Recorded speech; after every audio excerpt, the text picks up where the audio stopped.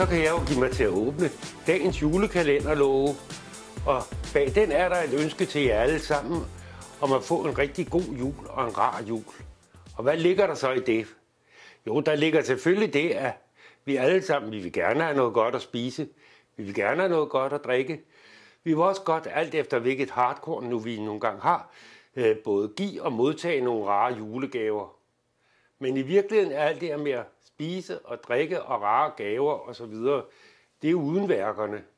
Fordi det, der egentlig ligger i det, det er jo, at vi vil tilbringe nogle rolige, fredelige og rare dage sammen med dem, der står os nærmest. Og det, giver, det er det, der giver mening til alt det andet. Vi har sikkert alle sammen prøvet at deltage i festligheder, hvor traktementet var der som et, ikke noget i vejen med, øh, men stemningen var egentlig ret ligegyldig, og man gik hjem og når ja, okay. Eller også kom folk op og småhakkes. Undgå det, vær tolerante, giv plads til andre i juledagene og sørg for at fornytte det sammen med dem, der står nær. Skulle man være i den situation og være enig og mås- enlig og måske træt af jul og græn og vat, jamen så er der for eksempel muligheder i at melde sig til at hjælpe med øh, julen over på Christiania i den grå hal, hvor man er med til at skabe jul for nogen, der ellers også var enlige. Og det er også dybt tilfredsstillende og glædeligt.